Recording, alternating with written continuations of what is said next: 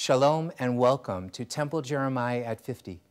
This is an overview of the history of our congregation from its beginning in 1959 until the present day.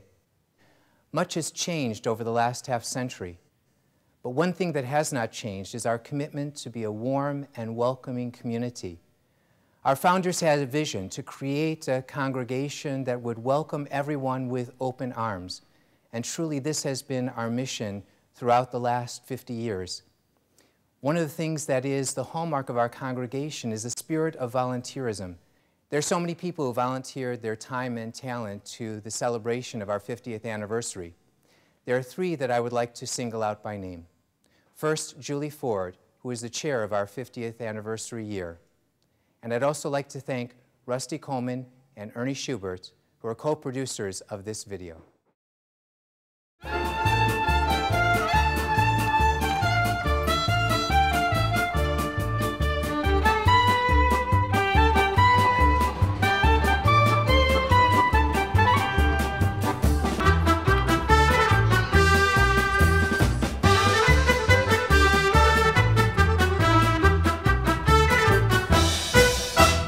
As you can see, I'm in the Jeremiah Lounge right now.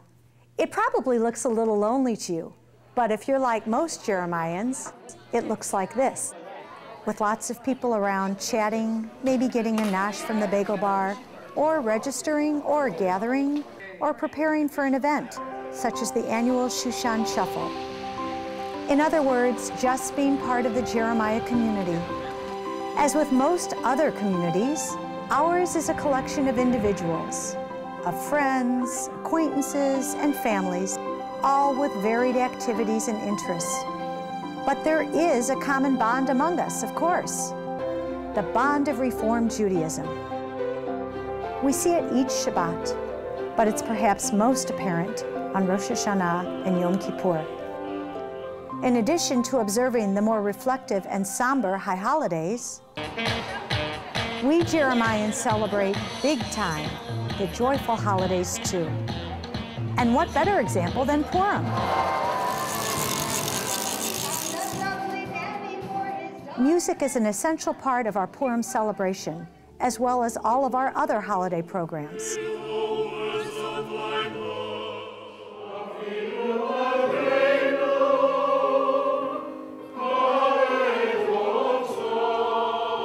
The music in our adult and junior choir performances, cantorial renditions,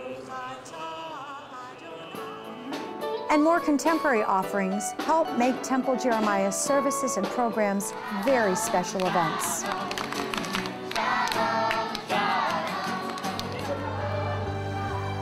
Of course, special events aren't limited to holidays at Temple Jeremiah. On this, our 50th anniversary, we have as a congregation joined together to fulfill the last mitzvah, to write a Torah.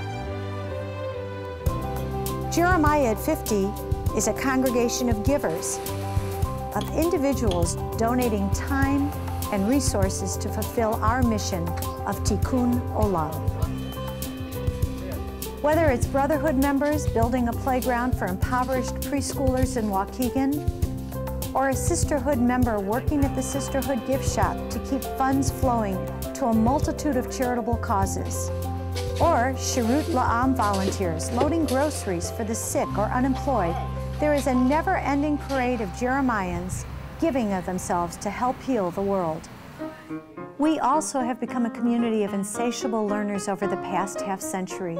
Our annual Golder Interfaith Lecture Series anchors a large number of adult learning programs not only for the Jeremiah community, but for the larger community as well. Over the years, some of our country's most distinguished citizens have shared their insights and reflections from our Bima.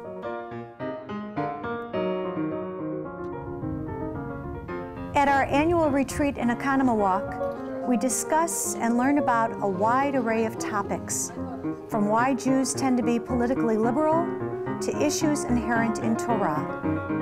We learn from each other and from resources found nearby, including the Illinois Holocaust Museum.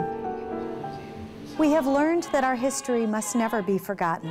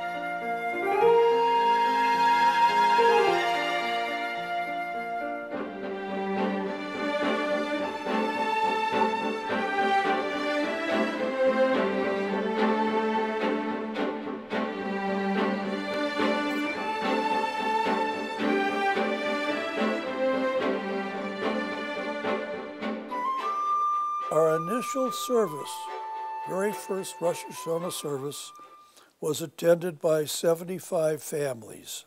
By the second year, we had nearly doubled in size and were already talking about getting a permanent rabbi.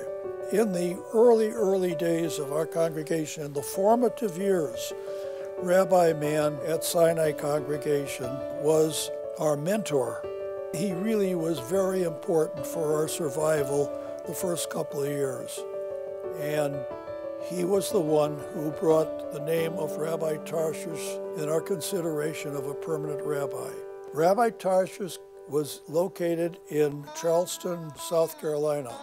His availability was caused by his family as well as himself reaching a point of not being able to accept the problems that the South was having at that time with integration. Rabbi Tarshish was a very liberal man and uh, welcomed integration, and his congregation was unruly. He and his family decided that they would be happier to live in some other area.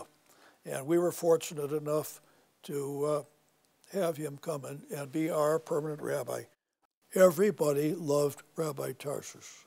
He was a wonderful man, a very human person, and a very caring person. As we grew larger, we were not going to be able to continue in using public schools. We had a temple meeting announcing our desire to go to ahead with a building, and uh, over 100 families resigned, which in one way was positive. The families were left that were left were so dedicated to the temple. Rabbi Tarshish, after serving here for a number of years, and he was in his 70s, wanted to retire. And we spent 19 months finding a new rabbi. CCAR was having an annual meeting in New York, so I made an arrangement with them that they'd give me an office at the UAHC and I would interview them. Uh, and I had 16 interviews set up over two days. The second day, I went to the washroom and I heard somebody saying, are you the fellow who's interviewing for the Midwestern congregation? I said, well, there may be others, but I am. He said, my name's Bob Schreibman. I said, my name's Ed Cadden, and we left. And my next interview, I got a phone call from the head of the CCAR. We want to add one more person. And that was the person. And we talked, and I liked Ed immediately. And uh, this was on a Tuesday. And he said, We have to know whether you're interested by Thursday. So Wednesday morning, I flew out to Chicago. And when we interviewed Bob, I could see something I never saw before. I, I was sitting in front of these 27, 28 people, and they started to nod. And all over the room, there was nodding. That was it. And we had two soloists. One was a member, a lovely woman, very dedicated, very nice. And we had Sharona Feller, and she became our full-time cantor and bar mitzvah trainer. Sharona was not a, a certified cantor, so we started looking again for a soloist. And uh, Anne, our educator, said, you know, you remember Amy, she's teaching, I, I think, second or third grade. Uh, she's really good with the kids, has a good voice. And so I interviewed her, and that worked out beautifully. And as you can see, she's, she's not only still here, she's probably in many ways the soul of what Temple Jeremiah is today. Amy and Ann were hired the same year in 1980. The thing I find most fascinating about Ann is her ability to uh, reinvent things, even after she's been here 30 years. Anne received the Covenant Award in 1998. It is a very prized award amongst the Jewish education community. A lot of people think hiring Amy and Anne were the best decisions ever made at Temple Jeremiah.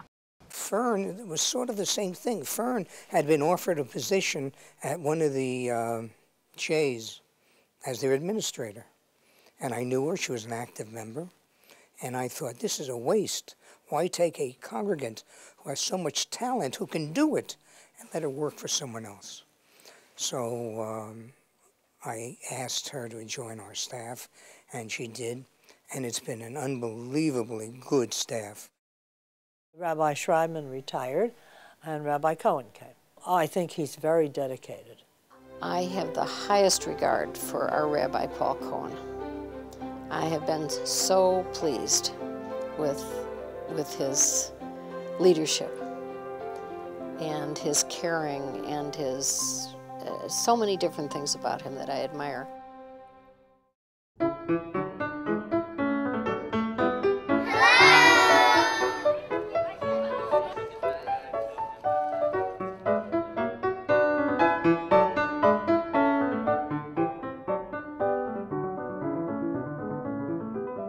Education of our children has been one of the cornerstones of Temple Jeremiah ever since its founding 50 years ago.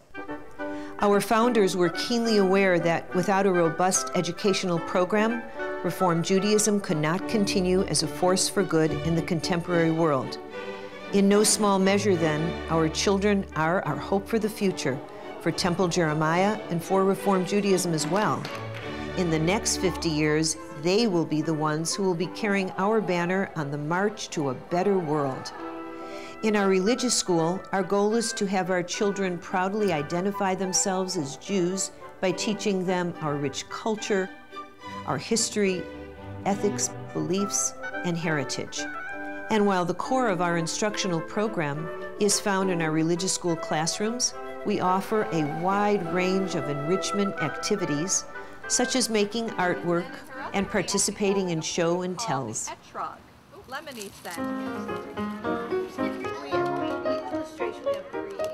Is the parchment made? See this thing Majiki over there?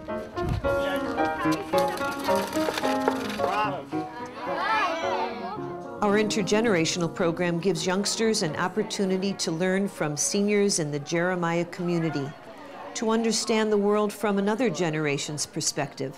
And conversely, it gives seniors some insight into our youngsters' world. We also offer an opportunity for our children to participate in Tikkun Olam projects, such as feeding the hungry. Hello. Our young people also learn how to work together to trust one another to accomplish a goal. It could be lifting a ball from a tube while blindfolded or perfecting a song for confirmation.